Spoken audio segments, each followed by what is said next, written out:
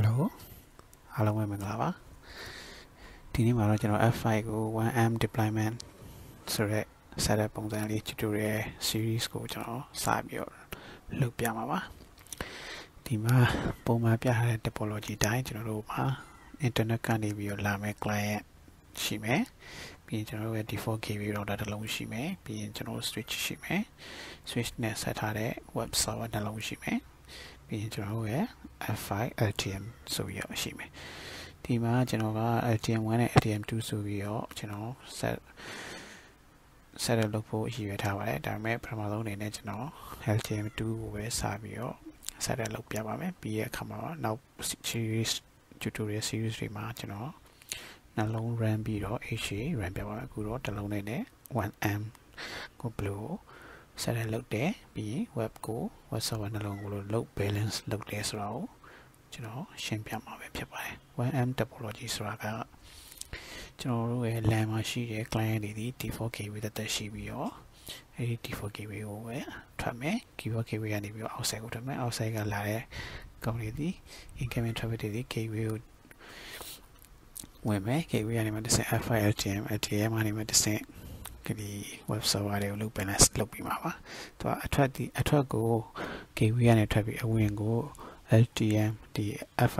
load balance ကနေပြန်ဝင်လာမယ်ပုံစံပဲဖြစ်ပါတယ်အဲ့ဒါကိုကျွန်တော်တို့ 1M deployment tutorial 1M deployment set လို့ခေါ်တာပါအဲ့တော့ကျွန်တော် F5 ကို set လုပ်ဖို့အတွက်ကျွန်တော်တို့ပါဝါအောင်ပြီးတော့ပါပြီကျန်တဲ့ IP address configuration တွေ hosting တွေအကုန်လုံးကိုအခုဒီပုံထဲမှာမြင်ရတဲ့အတိုင်းကျွန်တော် set လုပ်ထားပြီးသားပါ F5 ကိုကျွန်တော် set လုပ်အောင်မလုပ်ရသေးပါဘူးအဲ့တော့ F5 ကိုကျွန်တော် set လုပ်ပါမယ်ပုံထဲမှာပြထားတဲ့အတိုင်းပဲကျွန်တော် set လုပ်ပါပါပြီးတော့သူရဲ့ management IP ဒီ default ဆိုရင်တော့192.168.1.254ပါကျွန်တော်ကဒီမှာ virtual appliance ကိုသုံးထားပြီးတော့ lab လုပ်ထားတဲ့အတွက်ကြောင့်မလို့ကျွန်တော် management IP ကိုမသိဘူးမသိတဲ့အတွက်ကြောင့်မလို့ကျွန်တော် command line နဲ့တွက်ကြည့်ပါမယ်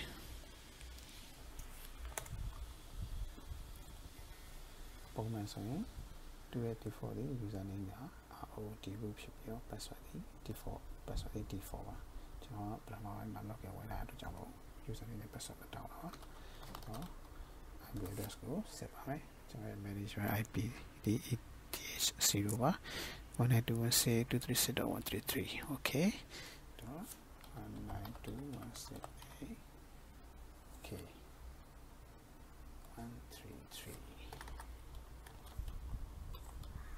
သူ့ကို HTTPS နဲ့ဝင်ရမှာပါဒီ default username နဲ့ password က admin admin ပါ okay ဒီမှာကျွန်တော်တို့ကဆက်တဲ့ utility ကနေမှတစ်ဆင့်ဆက်ရလုပ်ပါမယ် click next ပါမှာကျွန်တော် license activate reactivate ပြန်လုပ်ပြပါမယ် အရင်ကကျွန်တော် activate လုပ်ထားပြီးသားမလို့ပါဒီမှာ base registration key ကသူက2 type ပေါ့နော်ပုံစံနှမျိုးနဲ့ရှိပါတယ်အဲ physical apply အနေနဲ့ဆိုလို့ရှိရင်သူက auto ကိုထည့်ထားပြီးသားပါ virtual apply ဆိုရင်တော့ file ကနေ email ပို့ပေးတဲ့ဟာကိုဒီမှာ copy paste လုပ်ရပါမယ်ပြီးသွားတာနဲ့ကျွန်တော်တို့က auto လုပ်မလား manual လုပ်မလားဆိုပြီးတော့ရွေးလို့ရပါတယ်တကယ်လို့ကိုယ့် F5 က internet access direct ရှိရဆိုရင် automatic ကိုရွေးပြီးလုပ်လို့ရတယ်လို့ outbound interface ကိုဘယ် interface နဲ့ချိန်ထားလဲဘယ် interface က internet ရလဲဆိုတာကိုမူတည်ပြီး auto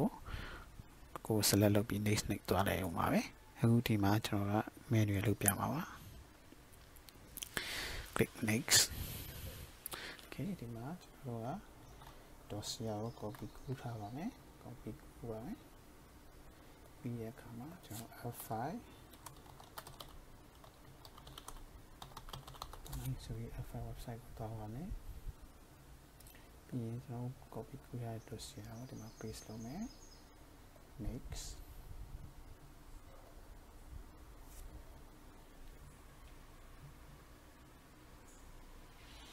ပြီးသွားတာနဲ့ကျွန်တော်တို့ဒီမှာ license ကို download လုပ်ထားလို့ရပါတယ်။နောက်တစ်ချိန်မှာကျွန်တော်တို့ပြန်ပြီးတော့သုံးလို့ရအောင်လို့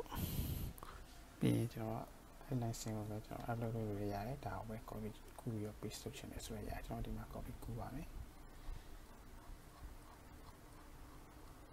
ဒီဒါနဲ့ကျွန်တော် F5 window ကိုပြန်သွားပြီးတော့ license နေရာမှာကျွန်တော် paste လုပ်ပါမယ်။အဲ့ဒါပြီးရင်ကျွန်တော် next လိုက်ပါမယ်ဒါဆိုရင်သူဒီ activate လုပ်နေပါလိမ့်မယ်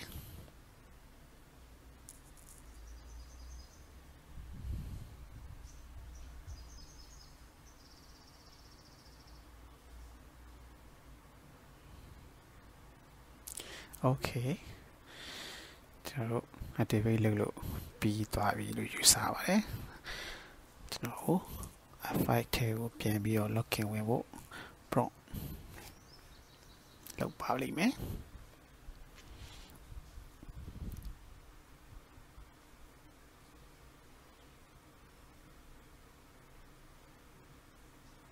โอเค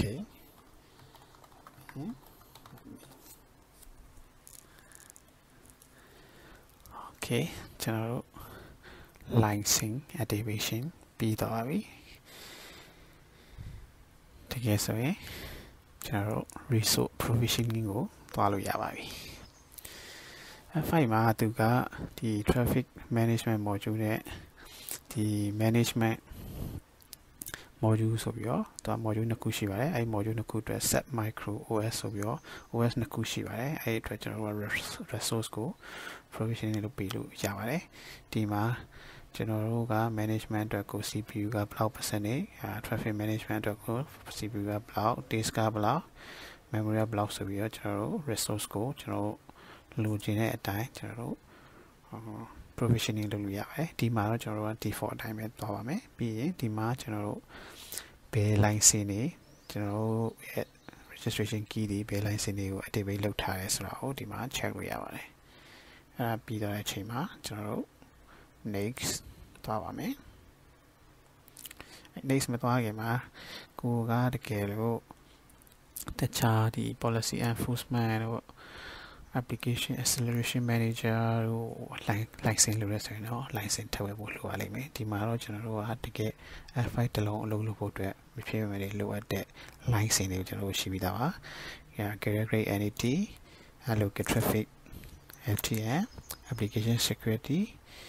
အစရှိရဲ့ကျွန်တော်တို့ license တွေကျွန်တော်တို့ရှိမှရှိပါ යි ကျွန်တော် click next သွားပါမယ်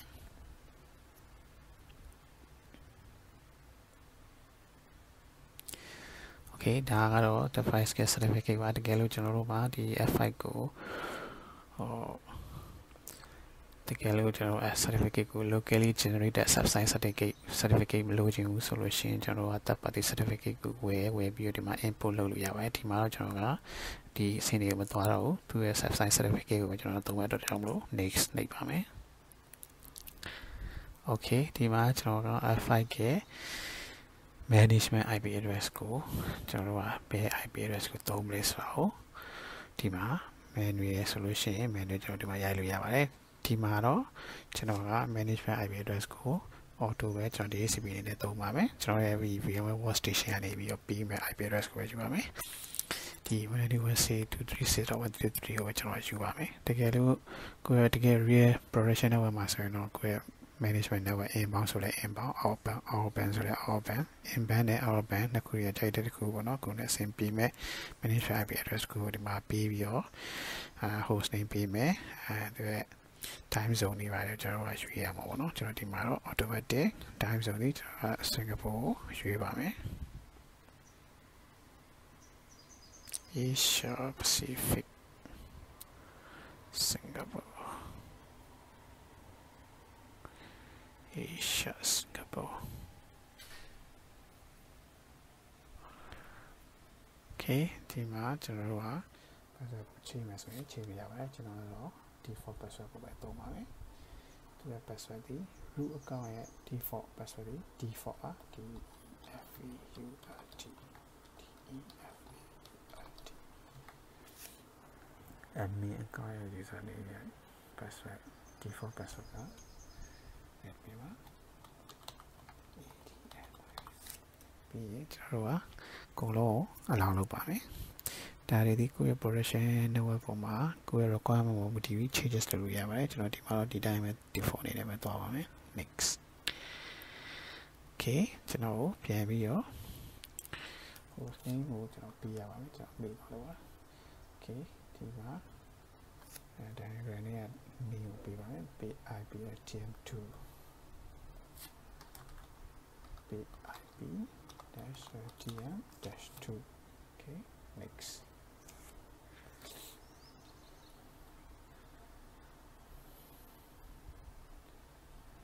okay dot okay okay next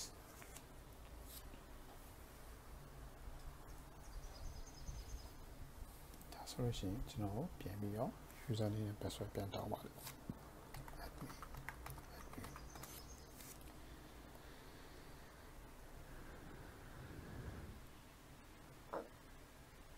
Okay ဒါဆိုလို့ရှိရင်ကျွန်တော်တို့ standard network configuration ကိုမသွားတော့ဘူး click finish လုပ်ပြီးတော့ကျွန်တော်တို့ဒီနေရာမှာခဏရပ်ပါမယ် license activate လုပ်တာနဲ့ management IP address ပေးရယ် hosting set လုပ်တာရယ်ကိုလုပ်တယ်မယ်လို့ကျွန်တော်ယူဆပါတယ်ကျေးဇူးတင်ပါတယ်